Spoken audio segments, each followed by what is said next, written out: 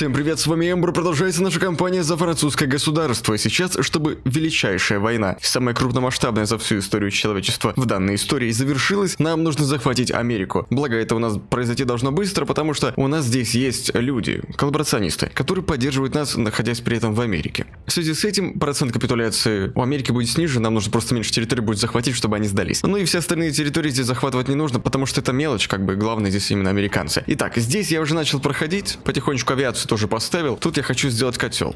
Оп, закрываем. Я думаю, то, что можно взять да нажать уже автоплан. Погнали, вот так вот. Я бы даже, знаете, сделал бы его агрессивным. А ну, поехали. Потому что у американцев э, здесь такое дело, ага, людских ресурсов нифига нет. Я думал, это проблема все-таки с снаряжением у них, но у них экономика очень хорошая, а призыв стоит у них тут так, призыв у них стоит расширенный. Здесь нет добавок на экономику. С такой экономикой они могут содержать вот такую армию. Поэтому тут проблема только с людскими ресурсами. И, видимо, у них политической власти нет, чтобы просто взять да поменять закон о призыве. И все. Ладно, мы здесь просто сейчас атакуем. Авиация, превосходство дает нам большое. Я думаю, то, что можно даже здесь атомные бомбы поиспользовать, если есть в этом какой-то смысл. Но вот здесь Здесь войска... А, это канадцы. Вот канадцев желательно жахнуть, потому что у них снаряжения и людских ресурсов хватает. Давайте вот сюда вот поударяем немного и вот сюда. А сюда вот нельзя, потому что, ну, авиацию нужно будет переставлять. А я пока буду здесь удержать, это самый главный наш участок. Ну и двигаемся. Я буду сейчас атомки вот здесь вот запускать. А, позапускал. Еще по авиации. А, они кинули сюда, я так понимаю, еще больше истребителей, поэтому у нас не хватает процентов. У них даже, кстати, скорость здесь больше. У нас она меньше. Понятненько, ну ладно. Я думаю, знаете, что в таком случае можно делать? А брать нашу авиацию, да переставлять вот сюда вот. И оп-оп-оп, давай. Готово. Сейчас сюда вот еще атомки побросаю. И теперь я их вернул вот сюда вот, и заново здесь накопилось у нас превосходство. Можно покидать еще и вот сюда. Так, Нью-Йорк, кстати, мы его уже... А, здесь я уже не могу. Нью-Йорк-то мы взяли, теперь Нью-Арк у нас на очереди. Котел получился, мы его сейчас закроем туда, сандалить бомбу не буду. Давайте вот так вот. И бахаем. Опа.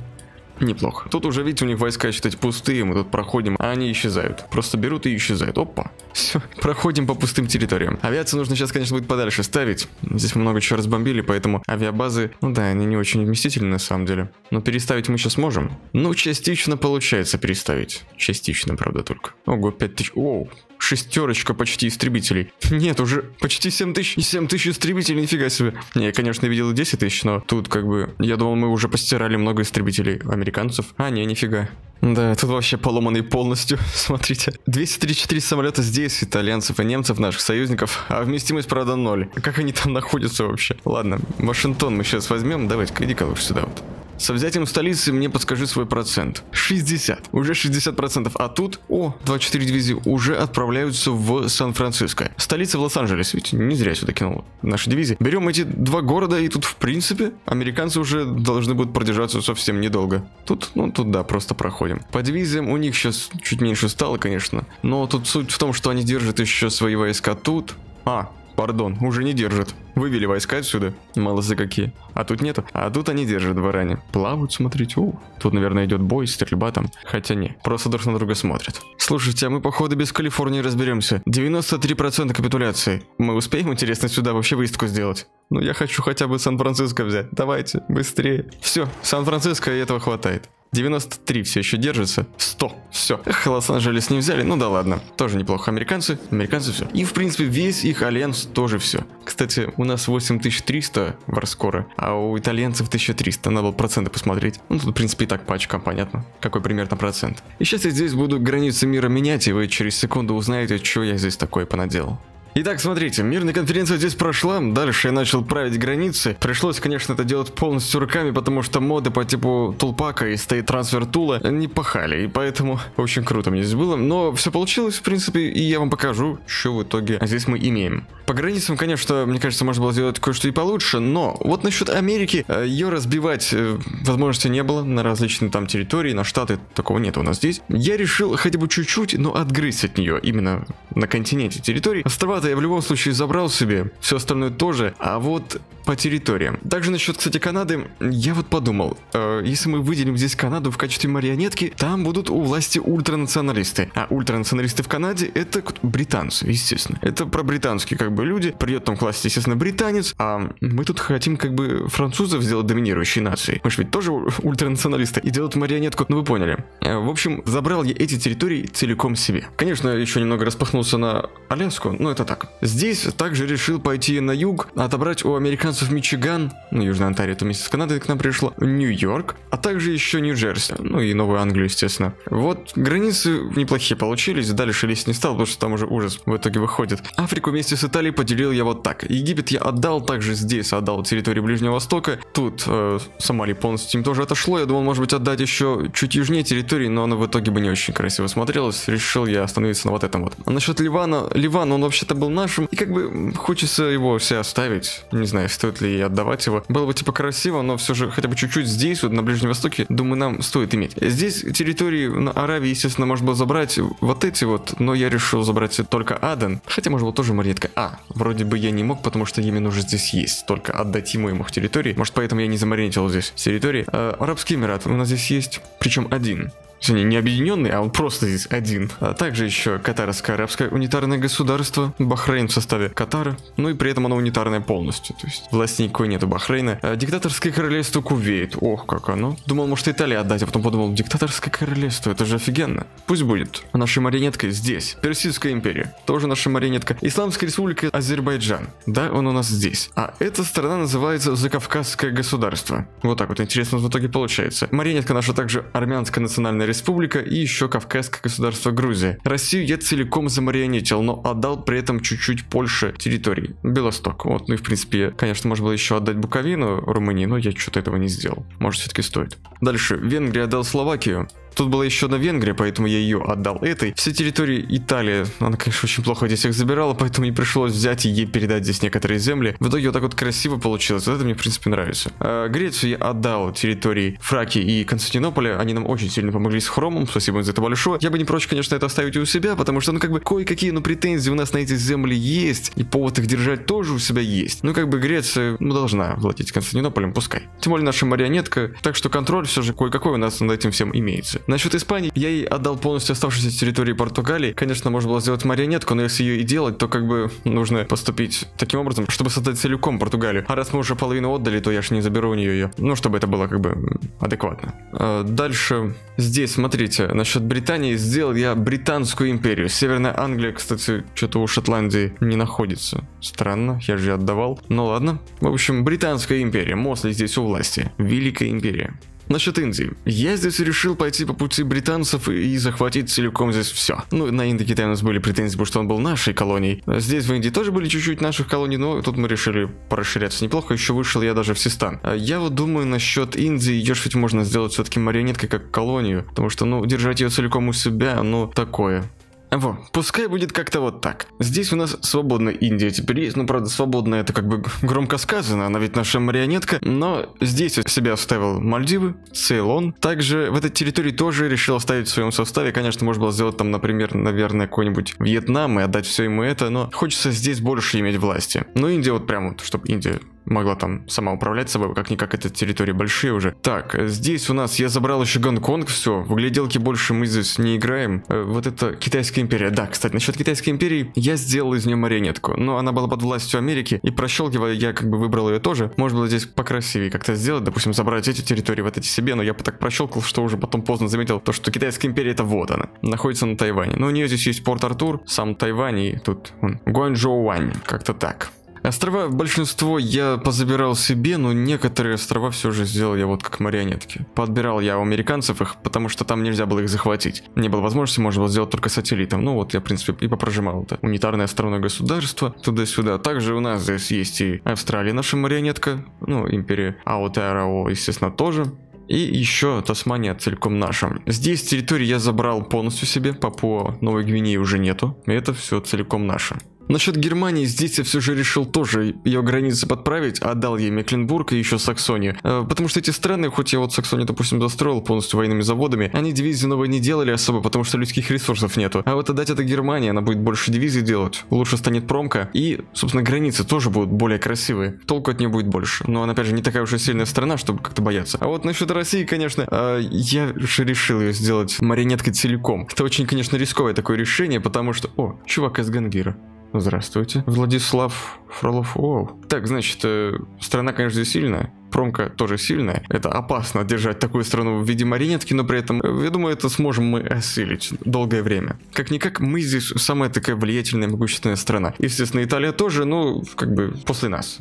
Но это еще не все. Сейчас я хочу к себе присоединить еще некоторые страны, допустим, Сиам. Также еще в Африке осталась Либерия у нас. Эм, тут, нет, в Африке уже, в принципе, все. А, вот тут, Йемен. Хочу тоже забрать Имамат Аман. Его тоже можно целиком себе отобрать. Насчет Средней Азии, здесь я хочу создать единую страну, единую марионетку. Это тоже я сейчас проверну. Я на самом деле думал Китай то, что лучше оставить так. Э, зачем его трогать вообще? Он нам ничего не сделал. Но вот смотрю и понимаю то, что он сделал то, что мешает быть нам единственным альянсом вообще на всей карте. Когда мы захватим Союз Согласия, то тут, считайте, весь мир будет просто под нами. А я тут его границы равнял, отдал вот эти территории ему и только думаю, блин, а чё ж он вообще здесь на этой карте находится?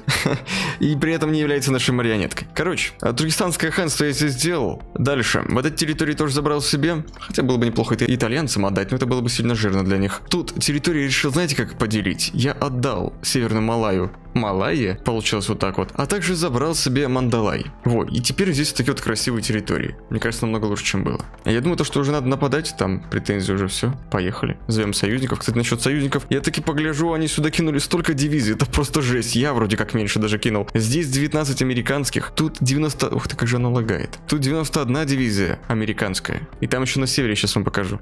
Поглядите, сколько здесь дивизий Италии и Испании. Они нам так всю кампанию не помогали, как сейчас решили помогать. Жесть. И войск сюда, кстати, я не очень-то и много подвел. Я не думал, что здесь у китайцев будет 300 с копейками дивизий. Примерно как у нас. Поэтому здесь союзники очень нам нужны будут. А, это не американцы, это оно просто под один флаг все засунуло. Тут тоже весь салат, но американцев тоже, в принципе, много. Здесь отдаем земли, тут стоят наши союзники, тут тоже, кстати, стоят. Э, автоплан я прожал, ждем пока сейчас все войну вступят и давайте будем атаковать. Это, конечно, будет не так плавно, как я думал, скорее всего, но потому что дивизий у них реально много. Так, зовем чехов, чего не вступили. Ну, тут мы в любом случае пройдем, потому что, ну, вы сравните, какие китайцы, какие мы. Авиация здесь хорошо, как хорошо, у вас что, тоже дофига самолетов? Нифига себе у вас самолетов, они всю игру их копили. Так, ну сюда я атомки, конечно, не посбрасываю, а здесь, а здесь, наверное, и смысла-то особо там нету. Да я даже не могу. Превосходство, вот 74, дай чуть-чуть. Нужно сюда еще больше авиации кинуть. Это не дело. Ну, здесь мы в любом случае пройдемся. Меня интересует именно вот здесь вот Манчжурия. Столица у них вообще в Пекине. Неплохо так отлетают. Уже дивки, я видел, исчезали здесь у них. Поэтому мы сейчас, когда дойдем сюда, вот примерно дойдем до Пекина, то дальше будет намного проще. Единственное, что, да, реально авиация мешает. Эй, у вас истребителей нету, а где мое превосходство? Эй, я хочу хотя бы еще немного атомок посбрасывать. Они не дают. Может как-то на Пекин поставить, а? Подожди-ка, у меня стратегия. Вот они. Поставим-ка сюда вот. О, подожди. Давай-ка по Пекину бомбанем. Сюда, конечно, не достаю, когда фронт подойдет, тогда я это сделаю. А сейчас их промку чуть-чуть так вот помучить. Думаю, смысл есть. Еще сюда вот можно. Сюда и сюда вот. Да, учитывая, какое здесь население, эти бомбардировки самые смертоносные из всех вообще, которые мы делали ранее. И, кстати, здесь мы территории захватываем, как видите, для Китайской империи. Если бы мы ее не маринетили, то мы бы захватывали территории для себя вообще. А так, это все отойти может Китайской империи. Хотя на конференции потом мы это все дело можем сто раз там поддавать кому хотим. Хоть и себе забрать все территории. Но я хочу себе ручную Китайскую империю. Думаю, это будет круто. А тут можно сделать котел, хотя на самом деле котлы здесь делать бессмысленно, потому что войска противника они берут да просто исчезают. Но если вижу, что делать котел можно, то его надо делать. Погнали вот сюда вот. По дивкам у них здесь их осталось Видите, уже где-то 230-240. Они просто берут да исчезают. Ну а с котлом тем более. Пошли еще на Пекин. Сильно он разрушился. Но 4 из 5 инфраструктуры здесь уже уничтожены. Авиабазы тоже все уничтожены. Нормально. Пошли на столицу. Тут по проценту капитуляции у тебя сейчас 12, со столицы может 30 будет. Страна большая, нужно будет здесь пробежаться. Вот по потерям, кстати, у нас 300 тысяч, а у них миллион триста. Сняли им мы 1 миллион. Испания 150 тысяч, Италия 100. Америка 9 тысяч и Россия 400. Но России там дивизий уже мало очень осталось после ее капитуляции. Там штук 20, наверное, где-то у тебя сейчас. 17 вообще. Поглядите, какой у нас сейчас минус по ресурсам. Из-за того, что у нас куча военных заводов, соответственно, нужны и ресурсов куча. Посмотрите, сколько этих военных заводов по десятке стоят. Жесть. Ну и минус 2000 стали здесь. На самом деле, вот теперь вот можно экономику закрыть. Офигеть. Даже 800-ку почти полностью у нас выкупают. У нас сейчас фабрика торговли, мы получаем 165 штук. Жесть. Плюс 380. Вау. Но экономику все же закрыть нам следует. Посмотрите, сколько нефти закупают. А, ну тут чуть-чуть. Нафига закупают у нас здесь алюминия, резины, вольфрам, стали, это понятное дело, хрома чуть-чуть еще берут. Но экономика давайте поставим на ограниченный экспорт. У нас было плюс 50% ресурсов на продажу. Тут вообще можно было плюс 80 поставить. Сейчас давайте плюс 25. В половину мы сейчас продажи наши уменьшим. Это, конечно, не спасет нас от нехватки ресурсов. Но и от торговли мы сейчас будем получать намного меньше фабрик. Но оно уже как бы и не надо, знаете, у нас уже экономика настолько развита, что тут у нас уже перепроизводство стопроцентно идет. Опять восстание. В Европе там опять что-то случилось. Да это Германия мне республика уже заколебала. Так, пошли разбираться. Можем сейчас просто минус этот убрать вот таким вот образом. Россия за 22 фабрики дает нам 1760 стали. 1760. Мне кажется, все же экономику стоило вообще полностью открыть, потому что мне выгоднее закупать за единички фабрик эти ресурсы. Вау, а ну-ка вот так, смотрите. Не, это очень... Вот французская малая, давайте. Вот так вот сделаем. Вот так вот. А все. Я сейчас ставлю, давайте, приоритет экспорт, полностью все продаем. И этот минус просто по ресурсам я закрою закупкой ресурсов по таким низким ценам, что капец. О, все, плюс. Тысячу можно купить, прикиньте, резины у Малайи. Тысячу. Мне как раз вот столько вот хватит, примерно 300. Тысячу не надо. У России закупаем. И заодно инвестируем, понимаете, в наши маринетки, в наших союзников. Как бы это всем выгодно. Так, у Америки столько, и у России. Ой, теперь мы сохранили фабрики. 230. Капец. Сохранили фабрики, получили ресурсы и получили еще инвестиции в другие страны. Так, с Германией мы там уже разобрались. Все, закончили. Опять тебя давать эти земли надо. Забирай. Ух ты ж, нифига себе. А это что такое? Это кто-то здесь сделал высадку. И, кстати, они планируют делать еще высадки. Посмотрите, отсюда, сюда вот. Вау, молодцы ты какие, а? О, вот тут еще высадка. Нифига себе. Они решили ускорить эту задачу по захвату Китая. Молодцы. Я решил просто взять да давить здесь, а это очень выгодно делать вот эти вот высадки, потому что быстрее разберемся и меньше потерь будет. Тут еще, кстати, тоже высадки. Ну пусть они занимаются, а я буду по старинке с севера идти. О, так, это дело надо закрыть уже до конца. Ну и получилось оно все примерно как-то вот так. Здесь я отдал России часть Манчжурии.